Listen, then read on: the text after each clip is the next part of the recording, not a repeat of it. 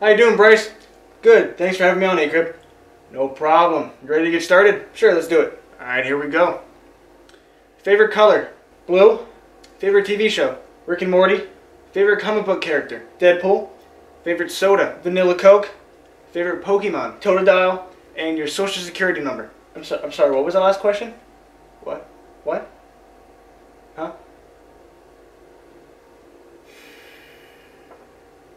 All right, good talk.